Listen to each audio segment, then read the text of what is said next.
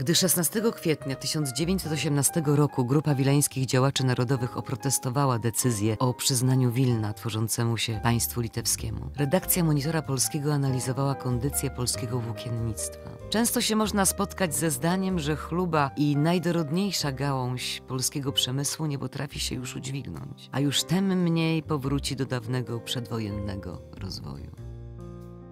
17 kwietnia 1918 roku, jak donosi włoska prasa, odbył się w Rzymie kongres, na którym uchwalono następującą rezolucję. Polacy, Czesi, Włosi i Słowianie południowi mają prawo do całkowitego, państwowego i gospodarczego niezależnego bytu i oczekują, że w monarchii austro-węgierskiej skończy się hegemonia niemiecka i przeciwieństwa w urzeczywistnianiu ich postulatów.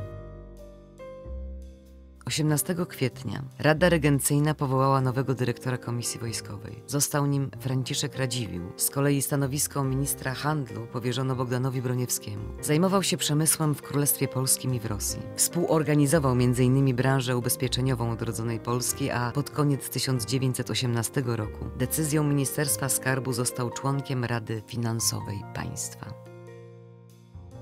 20 kwietnia o godzinie 11 po przemówieniu Jana Kantego Steczkowskiego ksiądz prałat Zygmunt Chełmicki powitał gabinet ministrów. Dziękował za podjęcie się tak trudnego, a jednocześnie ważnego zadania, wyrażając nadzieję, że wspólna praca Rady Regencyjnej wraz z rządem prowadzić będzie do szybkiej i odpowiadającej potrzebom kraju przebudowy państwa polskiego. Następnie odczytano rotę przysięgi dla ministrów.